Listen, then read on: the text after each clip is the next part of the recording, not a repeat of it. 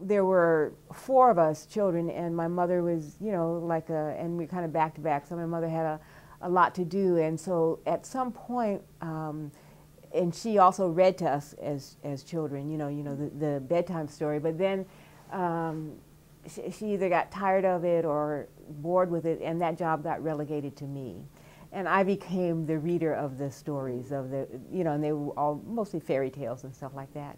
And so I remember that being a um, just a, a, a, central part of my life, reading, uh, reading to people, reading to you know uh, to whoever would sit still for me to uh, to to be read to. I loved I loved reading aloud. Uh, we had um, you know we had a book of uh, like this book called Great American poetry and I would just again I wasn't even now I know some of the authors Robert Frost and stuff but I would just read it over and over again the sounds of the words um, the you know the cadence of the words and just um, you know I was just fascinated with with the language and I um, I remember one time my sister came in the room uh, I think you know a reader and a precocious person who is going to one day become a writer, they, they start to de develop a world around them, a cocoon in a way.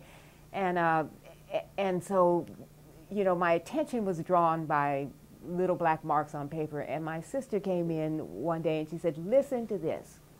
Listen, I wrote this. And she started, you know, she started to recite um, by Robert Frost, The Road Not Taken. But I didn't know it was Robert Frost, and I just remember the, the chills, you know what I mean? Because I had always always thought of this younger sister as being not not the you know brightest bulb in the chandelier, to use one of her expressions, you know, she expression my sister would use.